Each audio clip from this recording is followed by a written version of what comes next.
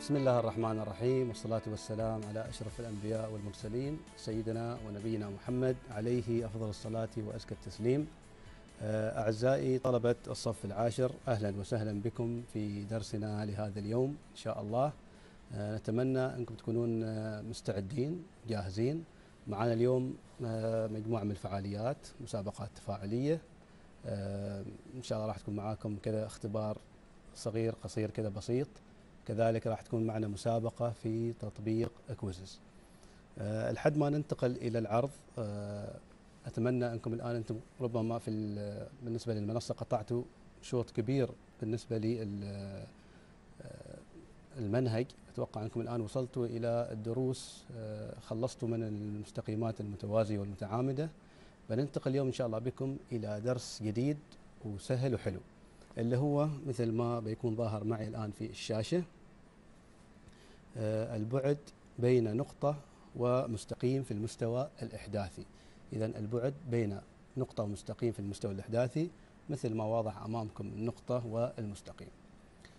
آه، طبعا بس كحاجات بسيطة الحاجات اللي راح نحتاجها إن شاء الله في حصة اليوم اللي يجب أنكم مثلا تجهزونهم معاكم آه، على الهاتف بالإضافة إلى الدفتر والكتاب. آه، راح أيضا تحملون برنامج اللي هو ماسح الباركود. برنامج ماسح الباركود تشوفه في المتجر معاك في التليفون.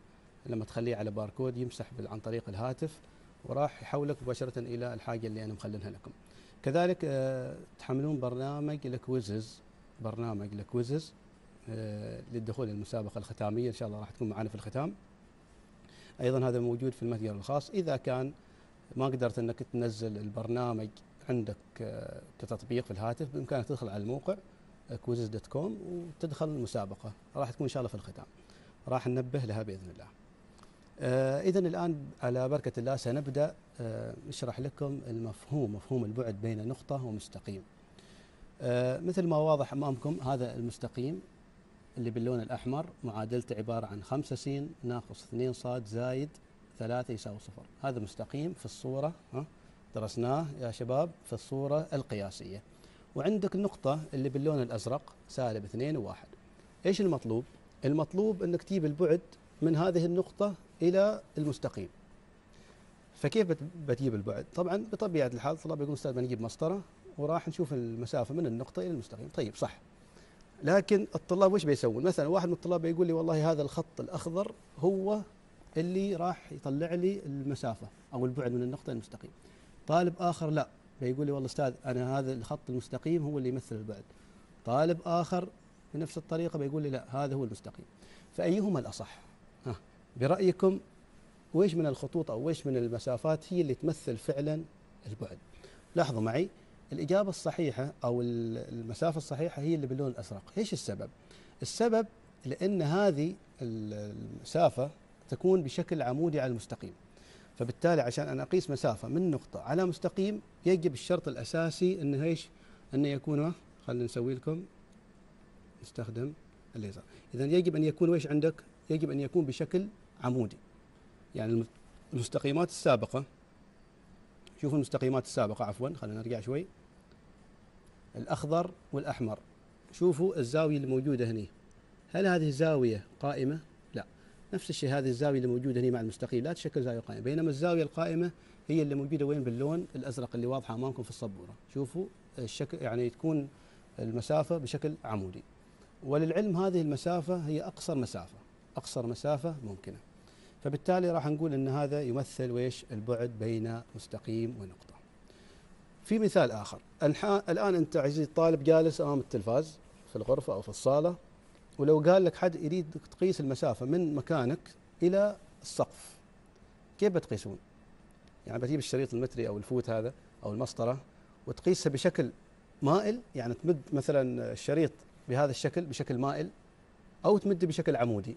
طبعا بطبيعة الحال واضح أنك من مكانك إلى الأعلى بشكل ويش؟ عمودي على الأرضية أو عمودي على السطح. في أيضا مثال آخر آه، مثلا في الشارع. وهذا موجود في في الحياة بشكل يومي. مثلا لما تريد تقطع شارع معاي ثلاث أشخاص ليلى وإياد وزياد. شوف ليلى راح تتحرك خط سير بهذا الشكل إلى نهاية الشارع. إياد راح يأخذ مسار آخر جهة اليسار بهذا الشكل وأخيرا زياد راح يتجه بهذا الاتجاه. الآن وصلت الفكرة بكم. أيهما أص يعني آه يعني طريقته لقطع الشارع هي الصحيحة.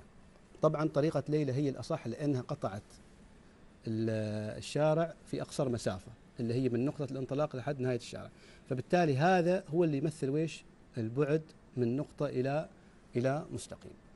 طبعا هذا بس كان كمدخل بسيط كيف نجيب البعد من نقطة إلى إلى خط مستقيم. طبعا الآن رياضيا نحن كيف نحسب هذا البعد؟ لأن لو سألتكم أن نحسب هذا الشيء رياضيا في الرياضيات ما لنا دخل نجيب مسطرة وكذا ما يخلص يعني. دائما الرياضيات دائما فيها قوانين فيها حاجات. تابعوا مع القانون مع بعض. البعد بين نقطة س واحد وصاد واحد. النقطة س واحد وصاد واحد. والمستقيم اللي معطاه إياه بالصورة القياسية. شوفوا ألف س زائد باء صاد زائد ج يساوي صفر. يعطى بالقانون التالي. إذا البعد يساوي نعمل علامة الكسر نجيب المعادلة هذيك نفسها بس بدون علامة يساوي. شايفين السين اللي موجودة أمامك الآن مع الألف؟ هذا راح أشيلها وأجيب بدالها من راح أجيب بدالها السين واحد. شوفوا نزلت السين واحد إلى مكان السين الأصلية. الصاد الثانية راح أشيلها وأجيب بدالها من الصاد واحد. وبذلك تقريبا انتهيت من القانون. في المقام عندي راح يكون عندي إن شاء الله جذر وفي ألف تربيع زايد الباء. إذا عرفنا نحن ما هي الألف؟ الألف هذه اللي موجودة معاك هي معامل من؟ معامل سين. بينما السين واحد هو الإحداث السيني في النقطة. الباء هو معامل الصاد في معادلة المستقيم كذلك الصاد واحد هو الإحداثي الصادي في النقطة المعطاة. كذلك الجيم هو الحد الأخير في المعادلة التربيعية. وطبعا الألف والباء تكررت في المقام. أيضا في حاجة هنا ناقصة. بما أنه هو قال لك بعد. قال لك بعد. إيش معنى البعد يا شباب؟ ممكن هل ممكن أن البعد يطلع بالسالب؟ هل ممكن أن البعد يطلع بالسالب؟ لا طبعا هذا شيء مستحيل. فبالتالي نحن نضيف هني حاجة تسمى ويش؟ المطلق على أساس أن نتفادى نتفادى السالب في السؤال. طبعا هذا القانون راح تفهمه وتحفظه. هذا يقول لي كيف أفهم وأحفظ؟ طبعا أنت كل ما تكرر السؤال مرة أو عفوا تحل هذا السؤال الأمثلة على هذا الدرس مرة مرتين ثلاث راح تحس أن يدينك بدأت تسلك في كتابة القانون وبتلاحظ أصلا أن القانون سهل وبسيط. انتهينا الآن من هذا العرض. سننتقل بكم مباشرة إلى حل التمارين الموجودة في الكتاب أو عفوا اللي مجهزينها لكم في البرنامج. طبعا هذا الدرس في البداية مثل ما ذكرنا لكم خلينا بس نعيد. هي هذه قلنا لكم السين واحد والصاد واحد. المستقيم لاحظوا إن المستقيم الشرط الأساسي إنه يكون ويش؟ ها؟ في الصورة القياسية. إذا في الصورة القياسية. طيب طبعا إيش الصورة القياسية؟ نحن درسناها سابقا قلنا لكم أن الصورة القياسية يا أعزائي الطلبة لما تكون ويش بهذا الشكل. في هناك صورة أخرى قريبة من الصورة القياسية أو شبيهة بها اللي هي إيش؟ الصورة العامة. نحن ما لنا دخل فيها. إذا هذا القانون. طبعا الرسمة هنا أنا ما راح أرسم لك إياها خلاص. مباشرة راح ننتقل إلى إلى المثال الأول. هذا هذا هذا المثال الأول. اللي موجود معاكم أوجد البعد بين نقطة سالب اثنين وخمسة بهذا الشكل. وش اللي راح نسويه يا شباب؟ أول شيء ننظر دائما إلى معادلة المستقيم. هل هي في الصورة القياسية؟ نعم. إذا هذه هنا مباشرة ويش في الصورة القياسية. خلاص. إذا من دام إنها في الصورة القياسية إذا أنا مباشرة أستطيع أني أكمل الحل. أنزين. وش اللي راح أجيبه؟ راح أجيب عندك لازم تجيب خمس حاجات. وش الحاجات اللي تجيبها؟ نجيب عند لازم تجيب الألف. كم تساوي في هذه المعادلة؟ قلنا الألف يا شباب هو معامل السين. وين معامل السين هذا؟ فبالتالي مباشرة راح نقول أن الألف يساوي الثلاثة. جميل. أيضا الباء. الباء هو معامل الصاد. وين معامل الصاد؟ هذا يا أستاذ معامل الصاد اللي أمام مع الإشارة. إشارة موجب. فبالتالي قيمة الباء راح تساوي أربعة. جميل. آخر حاجة اللي هي الجيم في المعادلة واضحة مثل ما واضحة أمامكم مع إشارتها عبارة عن موجب ستة فنقول تساوي ستة. إيش أيضا متبقي عندي؟ متبقي السين واحد والصاد واحد وهذه واضحات في النقطة. إذا سين واحد تساوي هذه هي السين واحد اللي هي سالب اثنين والصاد واحد اللي هي ويش؟ الخمسة. الآن مباشرة هو طلب في السؤال البعد. طلب ويش؟ البعد. عفوا. مباشرة طلب في السؤال البعد. إذا أي واكتب القانون في البداية؟ أحيانا القانون يكون عليه مثلا لما تكتب والله يعطونك نص درجة.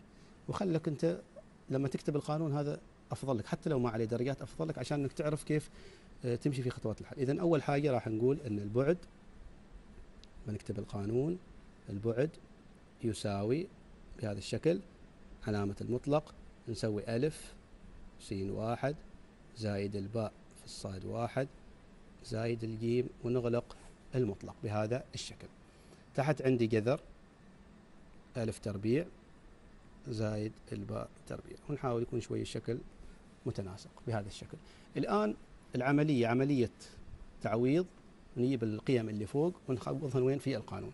فنقول ننزل شوي نقول يساوي بهذا الشكل. نعمل علامة الكسر وهذا المطلق. عندك الألف عفوا هذا عندك هني علامة المطلق. الألف قلنا كم القيمة؟ قيمة الألف ثلاثة إذا بنكتب ثلاثة. سؤال الآن. آه، أعزائي الطلبة أنا طبعا واجهت هذا في المدارس. شايفين الألف والسين واحد. قال لنا والله الألف ثلاثة السين واحد يو كتبها سالب اثنين بهذا الشكل. إيش رأيكم؟ بعدين كمل. زايد الباء اللي هو كم؟ أربعة. وجنبها صاد واحد اللي هي كم؟ خمسة. صارت 54 زايد الجيم اللي هو ستة إيش رأيكم في هذا الحل؟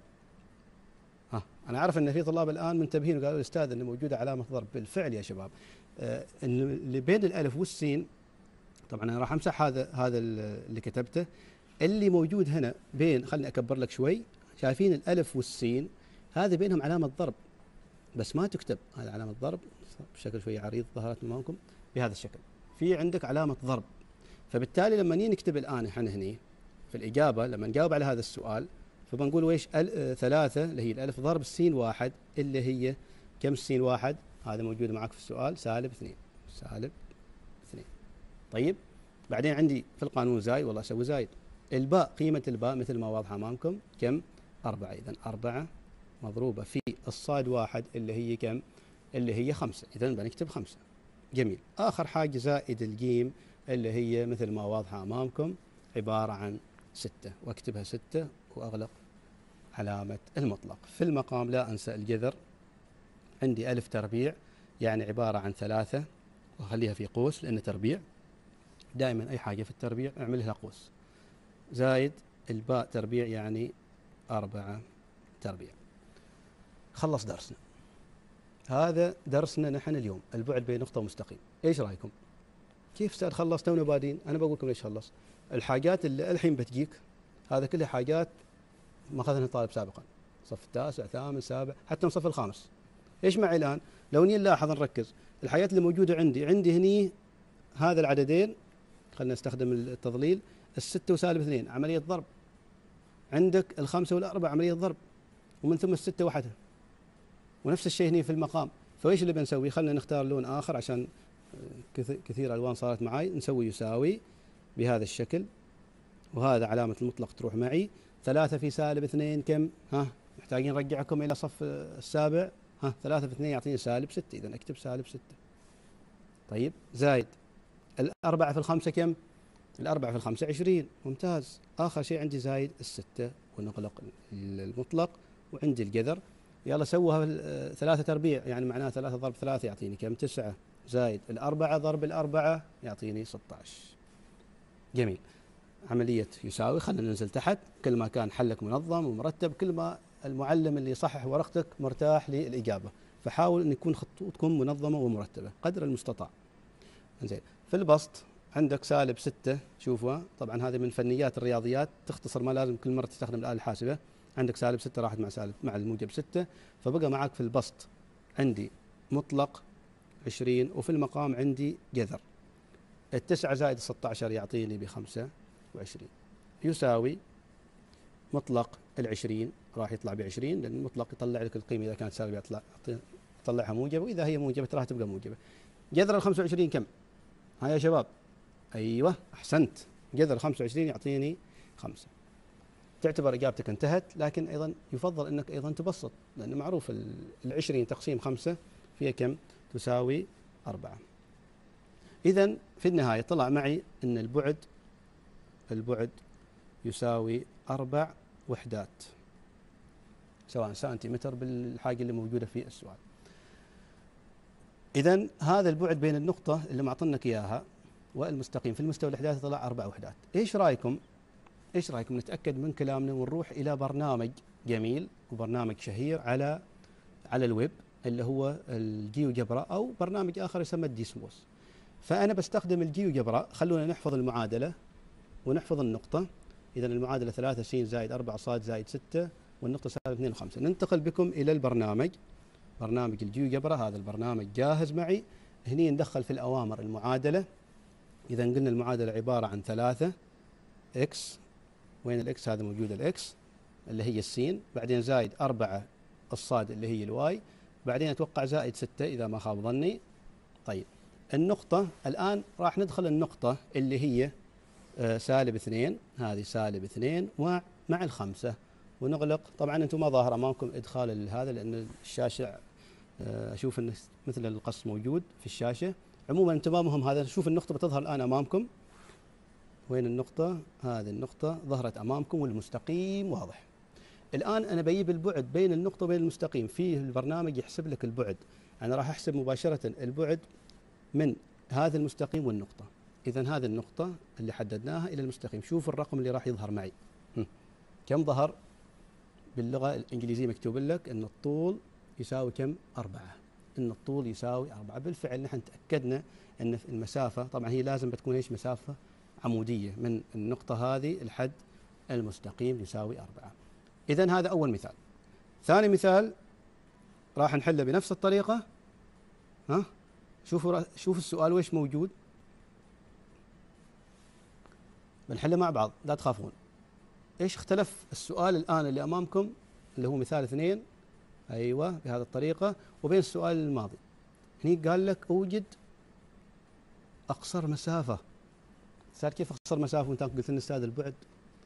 تذكرون في البداية قلت لكم لما شرحنا لكم إن أقصر مسافة إن البعد بين نقطة ومستقيم هو نفس الشيء أيضا إيش يمثل؟ يمثل أقصر أقصر مسافة من النقطة لحد المستقيم. فبالتالي هذا السؤال نفس الفكرة معناه أنه هو يريد أيضا ويش البعد. لكن قبل لا نجيب البعد شوفوا المستقيم. هل المستقيم في الصورة القياسية؟ هيا يا شباب هل المستقيم في الصورة القياسية؟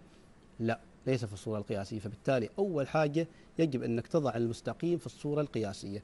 فويش اللي بنسويه عشان نخلي المستقيم في الصورة القياسية؟ عندك طريقتين إما أنك تحول الثلاثة صاد في الجهة الأخرى أو تحول هذه هذا المقدار كامل في الجهة الأخرى. إذا أول حاجة أولا نضع المستقيم في الصورة القياسية. جميل. يلا ها كيف بنخليه بنقول ثلاثة صاد بنحول أربع سين هناك ناقص أربع سين. ونحول الخمسة نقول زايد خمسة يساوي صفر. آه أستاذ خطأ خطأ آه. أيوه صح. ممتاز يا محمد. محمد يقول أستاذ خطأ. وين الخطأ يا محمد؟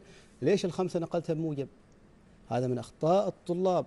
بينقلوا لي والله يقول الأربعة بنقلها أنا بإشارة سالب بغير إشارة لكن الخمسة ينسى ما يغير لا غير الاثنين.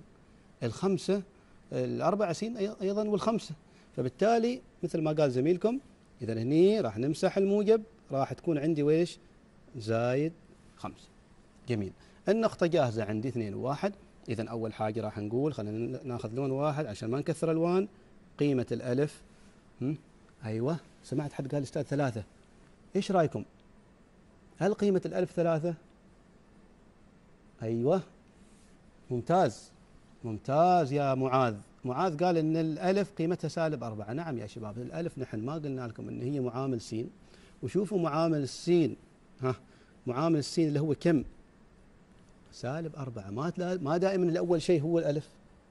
الألف متعلق بمعامل سين والباء هو معامل صاد بينما الجيم هو العدد اللي يكون وحده فبالتالي مثل ما قال زميلكم معاذ قيمة الألف راح تكون عبارة عن سالب أربعة. إذا الآن قيمة الباء راح تكون ثلاثة وقيمة الجيم راح تكون خمسة. أيضا عند السين واحد تساوي آه اثنين والصاد واحد تساوي الواحد. طيب إذا مباشرة نكتب القانون. أستاذ كل مرة نكتب القانون كتبه. أوصيك في الرياضيات دائما حاول تكتب. قانون تمارين مسائل خلي دينك تتعود. أنت يوم تدخل الاختبار كيف تحل اختبار تحل بالنظر؟ تقعد تشوف الاختبار؟ لا تحل بيدينك فأنت إذا ما تدربت في البيت في البيت إذا ما تدربت على حل التمارين آه، الموجودة في الاختبار ما تعرف تسوي شيء. بتقعد تقول والله هذا كذا يساوي هذا كذا يساوي. تعود في البيت وانت تذاكر ورقة وقلم. يعني كنت لما كنت طالب مثلكم كنت أخلص رزم الأوراق. استغل كل الدفاتر اللي موجودة في البيت أجمعهن وأكتب عليهن. أكتب أكتب. كل يوم أخلص عادي. في الأسبوع دفتر دفترين أخلص. حل تمارين سواء مادة رياضيات أو أي مادة أخرى. عموما اذا البعد يساوي نكتب القانون اللي هو المطلق ألف س واحد زائد باء صاد واحد زائد ج على جذر ألف تربيع زائد الباء. جميل. عملية تعويض الآن يساوي لأن كل ما نظمت الحل كل ما كان أفضل هذا المطلق. إذا قيمة الألف نقول سالب أربعة ضرب السين واحد اللي هي اثنين. ظاهر أمامكم زايد. قيمة الباء هنا عندك ثلاثة مضروبة كذلك في الصاد واحد اللي هي واحد. زائد الحد الأخير جيم خمسة. ونغلق المطلق ونعمل تحت عندك جذر بهذه الطريقة. وفي الجذر راح يكون عندك سالب أربعة تربيع. لاحظوا سالب أربعة تربيع اللي هو الألف زائد الباء اللي هو عفوا الباء اللي هو ثلاثة ونعمل له تربيع ونسوي علامة يساوي. وكل هذا يظهر معاك مباشرة حتى بكبسة زر بالآلة الحاسبة راح يظهر لك الناتج. إذا هنا يساوي نحن خلونا نحل خطوة خطوة ما يحتاج نستخدم آلة حاسبة. إذا عندك ثلاث عمليات حسابية في البسط هذا وهذا وعندك الخمسة آخر شيء. سالب أربعة في اثنين يعطيني كم؟ يعطيني سالب ثمانية إذا عندك سالب ثمانية زايد ثلاثة زايد الخمسة. كيفيات الثلاثة؟ هي عبارة عن ثلاثة ضرب واحد. ونغلق المطلق بهذا الشكل. عندي هني جذر السالب أربعة تربيع. الطلاب وأنا متأكد مئة بالمئة من هذه النقطة. فيقول الأستاذ سالب أربعة تربيع تلاقيه سالب 16 الطلاب اللي عندي في الصف أي واحد يغلط هذا الخطأ مباشرة أعطيه عقاب بسيط كذا. شوفوا أنا متأكد الآن أنتم في البيت جالسين بتسووا لي سالب أربعة تربيع بتقولون سالب 16 إيش الخطأ اللي سويتوه؟ أيوه بالضبط الخطأ إنك أنت في الحسابة سويت سالب أربعة تربيع ما سويت قوس السالب الأربع كامل تعملها في قوس وتعمل لها ويش؟ تربيع على أساس أنها فعلا تطلع لك كم؟ 16 موجب 16 لأنك أنت إيش معنى سالب أربعة تربيع؟ معناها سالب أربعة ضرب سالب أربعة فالسالب مع السالب يطلع يعطيني ويش؟ موجب فأربعة في أربعة يعطيني 16 فبالتالي هنا يطلع لي 16 زائد ثلاثة تربيع تسعة بهذا الشكل يساوي. طبعا خلونا ننزل شوية بالأسفل بهذا الشكل. عندي هني مطلق. نشوف آه عندك آه سالب ثمانية زايد ثلاثة آه زايد الخمسة. كم يطلع عندي الناتج هني؟ ها سالب ثمانية آه زايد ثلاثة زايد خمسة آه يطلع عندي صفر بهذا الشكل. عفوا. مطلق صفر على جذر الخمسة وعشرين راح يطلع عندي صفر على جذر ال 25 كم؟ بخمسة فإيش اللي نسويه هني؟ ها يساوي الناتج صفر على خمسة يطلع معي الناتج ويش؟ صفر إيش معنى؟ رغم إني أنا أشك في المسألة يمكن إني غلطنا في مكان لكن عموما إيش معنى هذا؟ إذا كان فعلا طلعت الإجابة صفر إيش معناه؟ معناه إن هذه النقطة هي موجودة أنا أسمع إجابات الآن معناه إن هذه النقطة موجودة وين؟ في الخط المستقيم. يعني هذا الخط المستقيم مثلا اللي معادلته معطاه إياها والنقطة موجودة فيه موجودة عليه. فبالتالي ماشي بعد. البعد كم؟ صفر. طيب. إذا هذه بالنسبة لي المسألة اللي هني. نشوف إيش معاي. الحين مجهز لكم. أيوه في مسابقة تفاعلية بس أنا خلنا نتأكد من تعويضنا للقيم ربما أن غلطنا مكان أن هذا المثال أنا حيد كنت مخلينه فيما بعد ليس هني يعني. أو لا خلاص نحن حلينا مثال. إذا لا صحيح. صحيح إن شاء الله. عندك سالب أربعة وهناك عندك أيوه. إنزين. الخطأ الخطأ اللي وقعت أنا فيه أعزائي الطلبة طبعا آه هذا الخطأ أنا حاسس أنه فعلا في في حاجة موجودة اللي هو هذا الجيم. رغم إن أنا نبهت عليه لكن روحي غلط سبحان الله. هذه المعادلة نحن لما حولناها في الصورة القياسية نبهت عليها ونسيت إني أروح أعدلها. فهني راح يطلع عندك سالب 4 س الموجب خمسة راح تطلع ويش أيضا بسالب. فبالتالي بنجي وبنعدلها هني بسالب. كذلك راح نجي ونعدلها وين أيضا؟ هني بهذا الشكل راح نسويها بسالب. وعذرا أعتذر على الخطأ وهذا دائما ما يحصل. ودائما لما يكون مع الطلاب الطلاب ينبهوني بس الآن لأني لحالي فجل من لا يسهو طيب. إذا هنا راح يكون عندي سالب خمسة فبالتالي هناك إحنا سويناها عملناها سالب خمسة والإجابة راح تكون إن شاء الله مثل ما هي موجودة. طيب. آه إذا الآن راح ننتقل بكم إلى المسابقة التفاعلية. طبعا مسابقة تفاعلية عبر موقع Live Worksheet إيش اللي عليك تسويه الآن؟ افتح الهاتف على ماسح الباركود اللي خبرتكم عليه. وامسحوا هذا الشريط المتري أو هذا الباركود اللي واضح أمامكم. راح يظهر لك تظهر لك صفحة يوديك إلى صفحة فيها اختبار صغيرون كذا. من تخلص حال الاختبار راح يعطيك درجتك. هذا بهذا الشكل راح يظهر معاك. خلنا أصغر لك الصفحة بهذا الشكل. إيش المطلوب منك؟ المطلوب منك إنك تجاوب تضغط على المربع. مكتوب لي أوجد خلنا بس أوضح لك. أوجد ميل مستقيم المار بالنقطتين. عندك نقطتين. بهذا الشكل وطلع الميل. طبعا هنا تكتب الإجابة هني في هذا المكان. تكتب الإجابة هني. طيب من تخلص من هذا السؤال طبعا تكتب هي الإجابة فقط. يعني مثلا الميل خمسة تكتب خمسة، الميل واحد تكتب واحد، سالب أربعة تكتب سالب أربعة، ما تكتب شيء شيء إضافي يعني ما ما في خطوات. أيضا عندك هناك حالات الميل. لاحظوا السؤال ما موضح. إيش إيش السؤال يقول لك توصل توصل بخط. يعني مثلا خليني أمسك اللون الأزرق. وين الميل الغير معروف من هذه المستقيمات؟ أشوف الإجابة الصحيحة وأوصلها. مثلا هني. ها إجابة أول سؤال أنا ساعدتكم هذا. بس تتوصل هناك بيظهر معاك في البرنامج التفاعلي راح تظهر لك هذه العلامة. وكملوا البقية؟ الصفر ميل من السالب. هو أي ميل؟ والموجب ميل إيش من هذه الرسمات؟ من تخلص اعمل على finish وراح تظهر لك نتيجتك مباشرة آه كم جبت من عشرة. طبعا اذا بنعطيكم دقيقة. لحد ما ننتهي من هذه المسابقة وهذا أنا بخليه على الكود. أنا متأكد الحين في مجموعة من الطلاب ما شاء الله عليهم. حلوا هذا السؤال أو هذا قاموا بالدخول إلى هذا الرابط وقاموا بحل السؤال.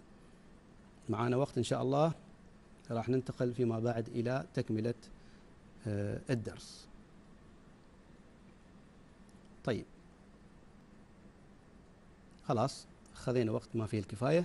اذا آه بعد هذه ال break البسيط آه نرجع مرة ثانية نقول تذكير إيش تحتاجون؟ نحتاج إلى باركود. طبعا تحملت الباركود. أيضا نحتاج إلى برنامج Quizizz راح تكون في معي مسابقة في ختام البرنامج بعد حوالي نصف ساعة من الآن. وننتقل الآن بكم إلى تكملة تكملة التمارين اللي موجودة معانا. عشان إنه يكون ويش عندنا يعني نلم بالموضوع نكون إنه فعلا تمكنا من موضوع البعد بين مستقيم ونقطة. مرة أخرى خلونا نحل هذا السؤال. أوجد البعد بين المستقيم الواضح أمامك.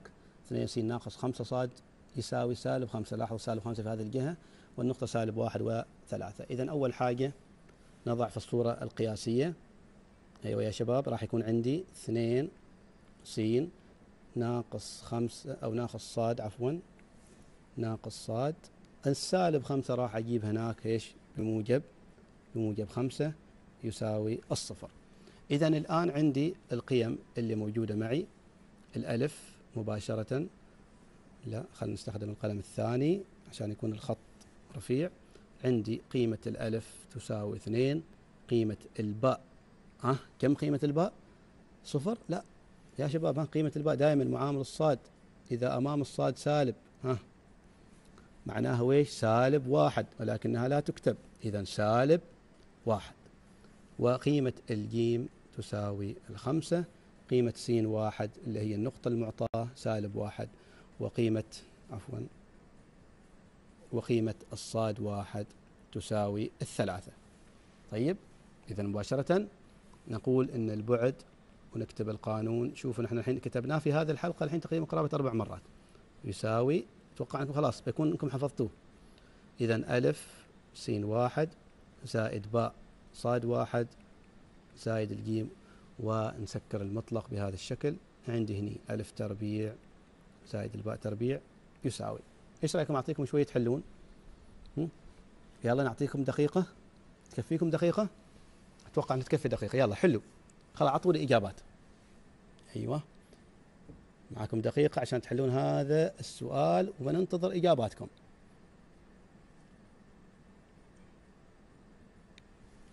ها نساعدكم شوية.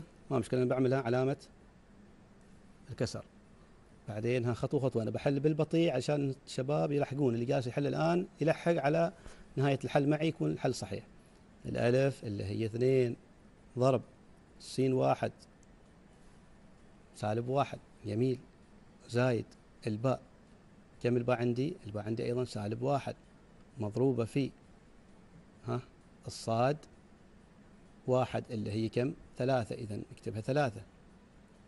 زايد الجيم اللي هي خمسة ونغلق المطلق وتحت في المقام. راح يكون عندي الألف اللي هو اثنين تربيع. زايد السالب واحد بهذا الشكل سالب واحد تربيع. طيب يساوي. ها شباب أتمنى إن حد خلص منكم. يلا ما مشكلة نستعجل شوية في الحل. أساس نلحق على المسابقة بعدين ما يفوتنا شيء. إذا عنده هني عملية وهني عندي عملية وعندي آخر شيء الرقم خمسة. يلا اثنين ضرب سالب واحد. كم يعطيني؟ يعطيني سالب اثنين. جميل. زايد. سالب واحد ضرب ثلاثة. يعطيني سالب ثلاثة. وعندي آخر شيء زايد الخمسة ونغلق المطلق بهذه الطريقة.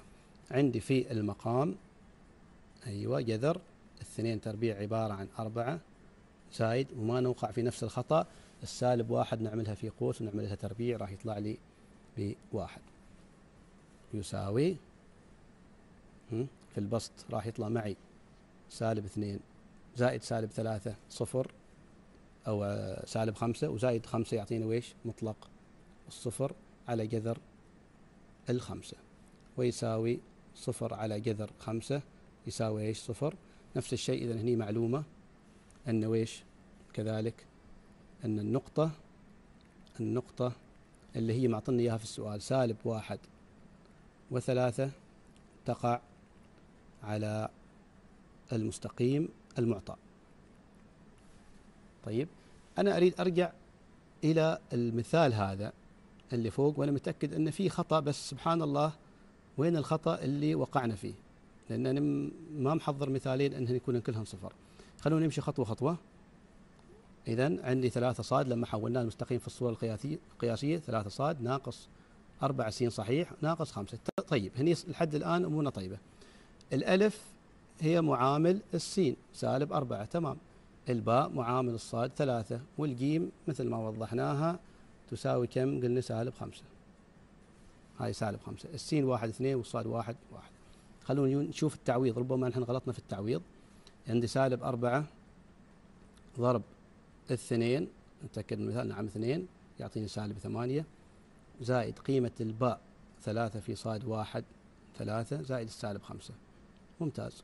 إذا عندي هنا سالب ثمانية زائد ثلاثة. أيوة أتوقع أن إحنا اكتشفنا وين الخطأ اللي بيكون. طيب سالب ثمانية زائد ثلاثة إذا هني ناقص خمسة إذا صحيح سالب ثمانية زائد الثلاثة كم يطلع معي يا شباب؟ سالب خمسة. سالب خمسة ناقص ثلاثة. إذا بس الخطأ الطفيف اللي أرجع ونصلحه يا شباب. أيوة خطأ طفيف. شفت أنا شوي استعجلت في عمليات الحسابية. زين إذا هني راح يكون عندي يساوي في البسط سالب ثمانية زائد ثلاثة يعطيني سالب خمسة وعندي ناقص خمسة. بهذا الشكل أنا استعجلت سويت لكم صفر رغم من الإشارات متشابهة. على جذر الخمسة وعشرين. راح يساوي إذا الآن اطمأننا أن أن حلنا فعلا صحيح هني راح يطلع معي مطلق سالب. عفوا مطلق سالب العشرة بهذا الشكل سالب عشرة على جذر الخمسة وعشرين يطلع بكم؟ بخمسة. ومطلق سالب عشرة الآن شفت كيف فائدة المطلق؟ مطلق سالب عشرة راح يطلع معي بعشرة وعشرة على خمسة يطلع كم؟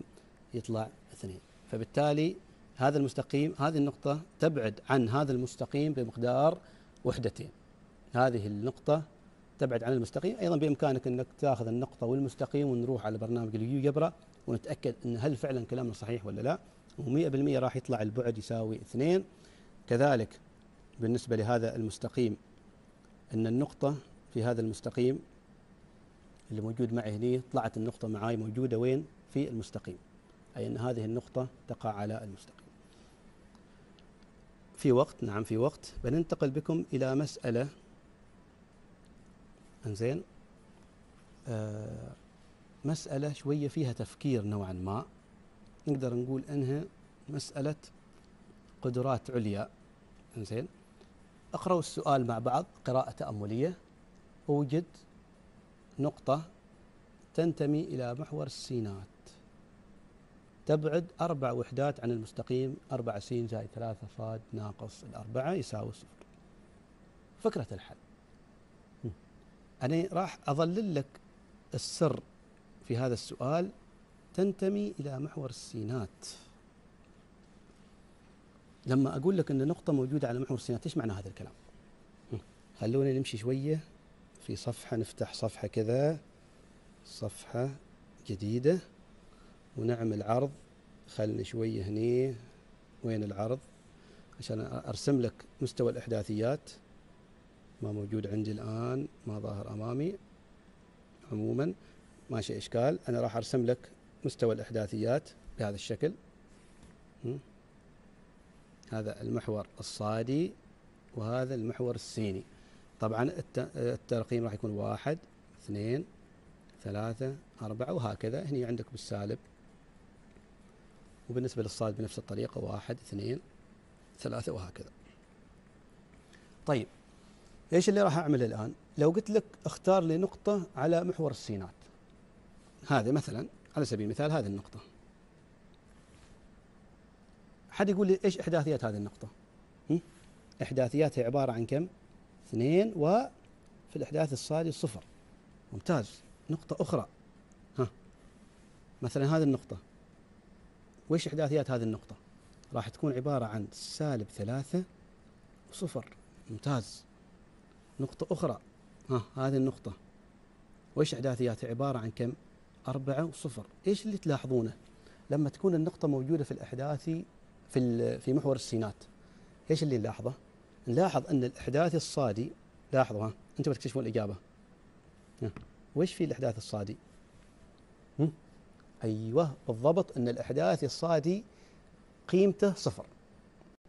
فهذا السر في هذا السؤال.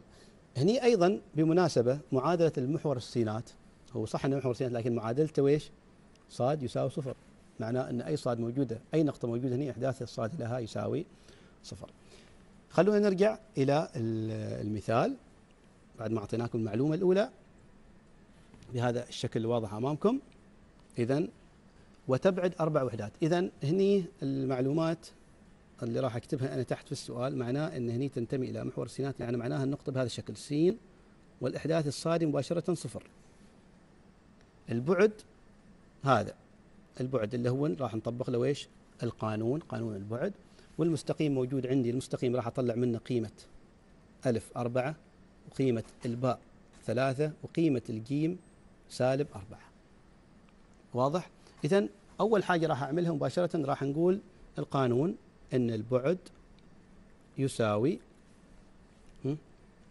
نعمل عملية الكسر مطلق عندي ألف سين واحد. زايد باء صاد واحد. زائد الجيم ها كتبناه يمكن عشر مرات اليوم. على جذر ألف تربيع زائد الباء تربيع. ممتاز. الآن عملية تعويض. لاحظ عملية تعويض. هني عندك البعد. البعد كم موجود في السؤال؟ قال لك أن البعد أربعة. إذا مباشرة أنا أكتب تحت البعد أربعة. علامة يساوي. الآن نعوض. خلني أخل سوي حالك بخط. لأن الكتابة كما تعلمون شوي على اللوح. آه الذكي آه ليس كالكتابة على الورق. نعمل المطلق. ألف. كم قيمة الألف؟ أربعة. إذا أربعة. ضرب. السين واحد. طبعا هي المطلوبة.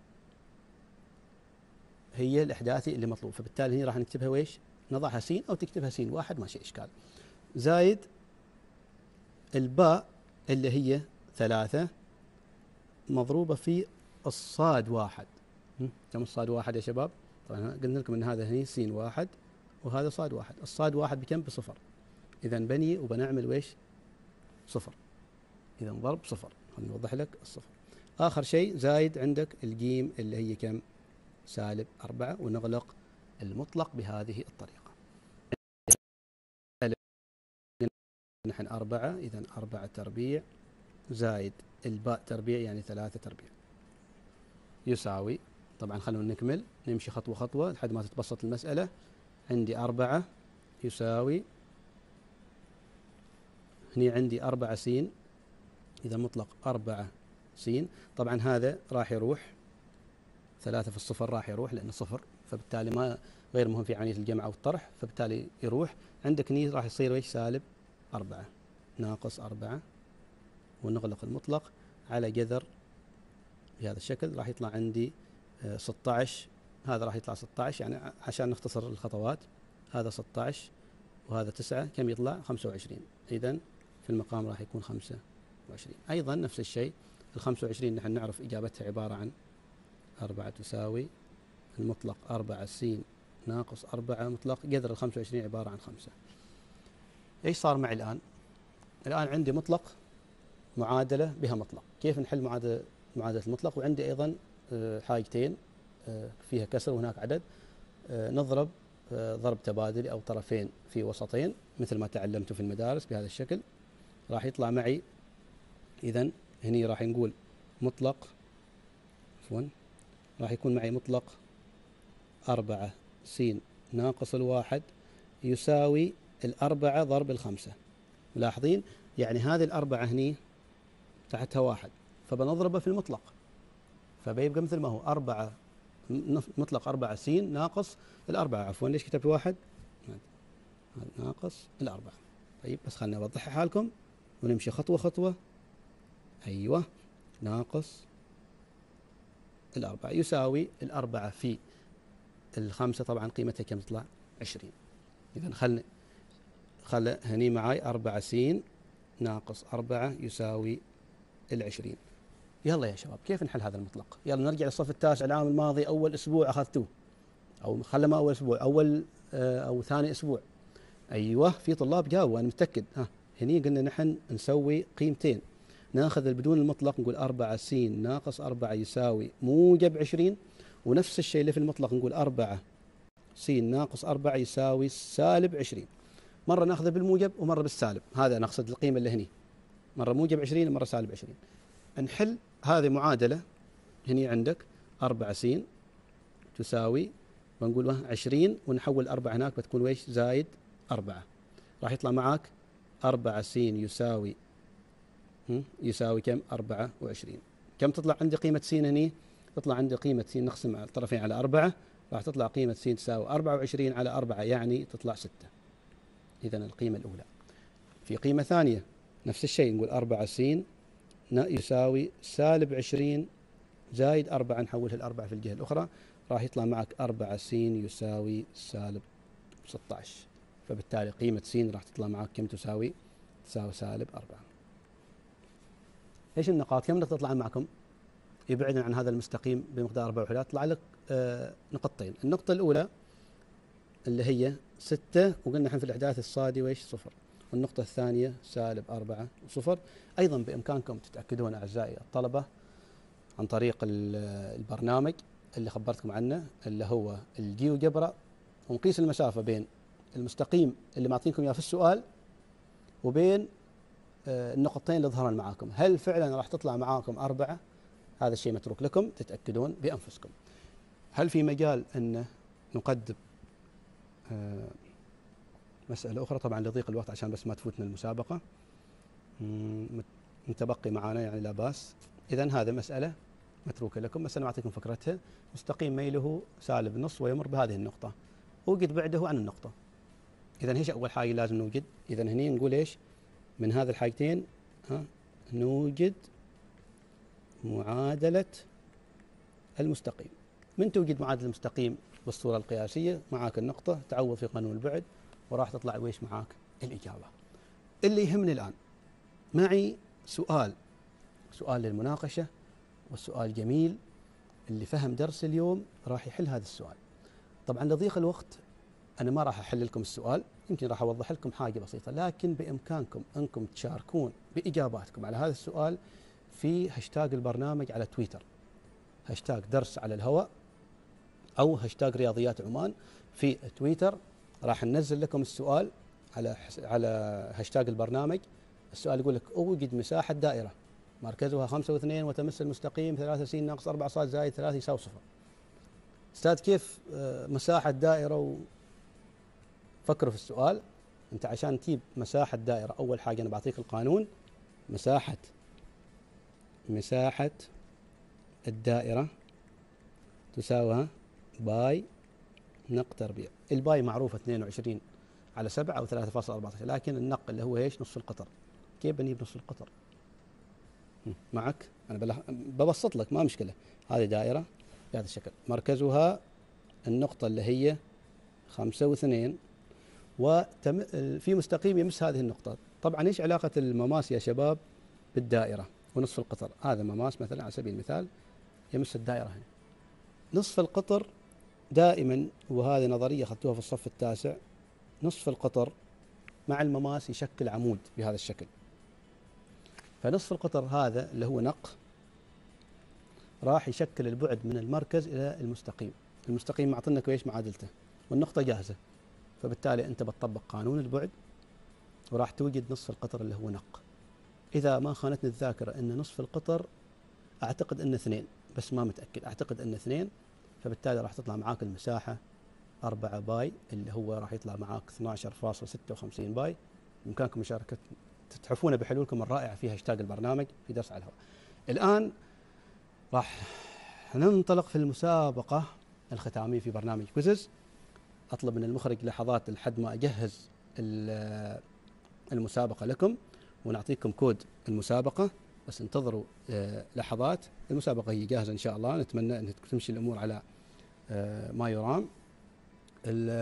متكون المسابقة من ثمانية أسئلة على الحاجات اللي درستوها سابقا.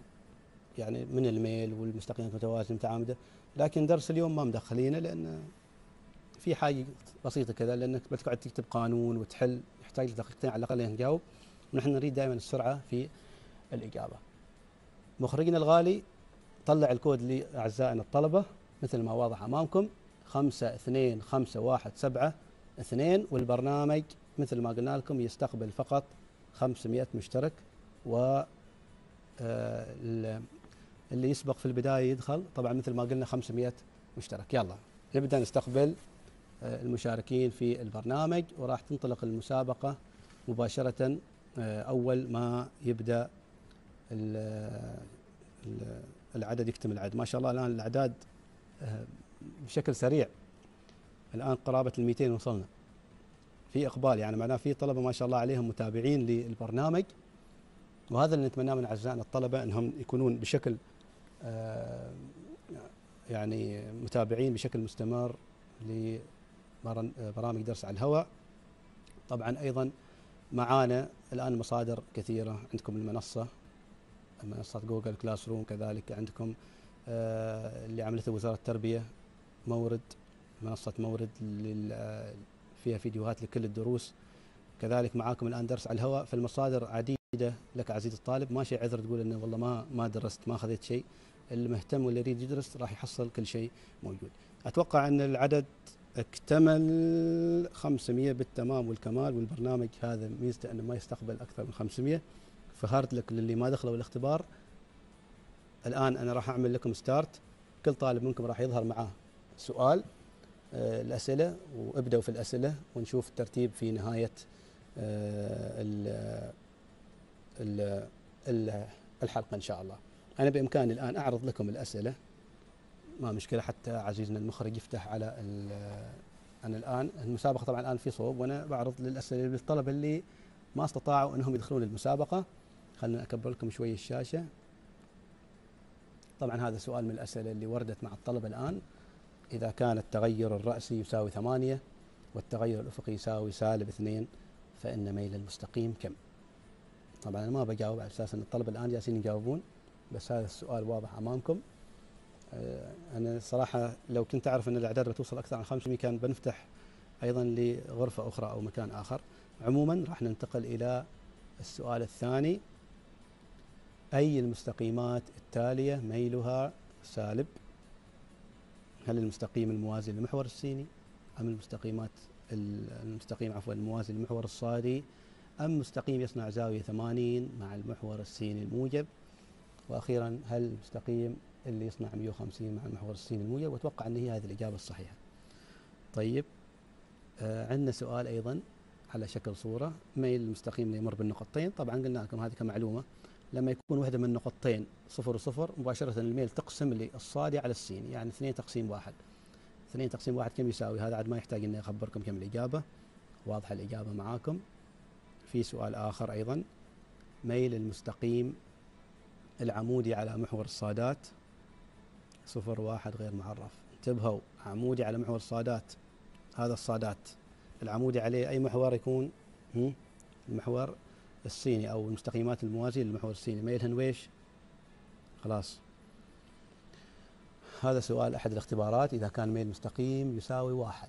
الميل قال لك أنه واحد فإنه يصنع زاوية مع المحور الصيني الموجب مقدارها. آه في سؤال هني أيضا. اي سؤال جميل حلو حلو هذا السؤال. من الأسئلة اللي تكرر دائما في اختبار حتى أنا قاصنا من اختبار لو شايفين كان من اختبار. إذا كان ميل مستقيم سالب 2 على 3 فإن ميل مستقيم العمودي عليه كم؟ شرح حالكم الحصة الماضية. الاستاذ أحمد الذهلي أتوقع أو الاستاذ سامي. ها قلنا ويش؟ نقلب الميل ونقط نقط نقط نقط. خلاص عرضنا لكم تقريبا أغلب الأسئلة.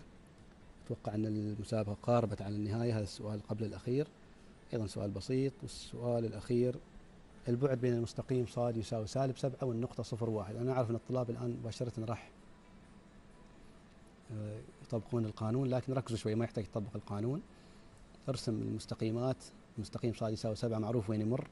بعده عن هذه النقطة كم راح يطلع معاكم. عموما نرجع إلى نشوف الترتيب ونشوف لوحة هذا. وإن شاء الله أول ما تخلص المسابقة متبقي الوقت القليل على انتهاء المسابقة. أول ما تنتهي المسابقة راح آه، نعطيكم لوحة نتائج. الحد ما مشكلة خلونا نرجع الحين إلى هني إلى هذا السؤال. خلي حالكم. بإمكانكم أيضا تصورون الشاشة وتنقلونه إلى آه، التويتر. أحد من من الأعضاء يشارك بالسؤال في آه، وسائل التواصل الاجتماعي تويتر على الهاشتاج اللي ظاهر أمامكم هاشتاج درس على الهواء وهاشتاج رياضيات عمان. والمجال متروك للجميع للمشاركة. ونرجع الآن نشوف الترتيب. أتوقع أن المسابقة قاربت على النهاية. في وقت موجود هنا. أتوقع أن راح تنتهي المسابقة بعد قليل. راح نشوف النتائج بعد شوي. راح تتوقف اذا النتائج مثل ما ظاهرة أمامكم الترتيب الآن وراح أيضا نعرض لكم آه، في آه، وسائل التواصل في هاشتاج البرنامج.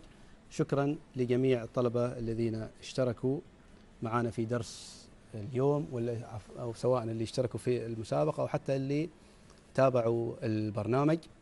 هكذا هي الرياضيات. دائما الوقت في حصة الرياضيات آه، يكون سريع وينتهي بسرعة. أتمنى أنكم استفدتم أعزائي الطلبة. في أمل أن نلقاكم بإذن الله في حصص أخرى يتفاعل أكثر منكم. ونعتذر من الطلبة الذين لم يتمكنوا من المشاركة.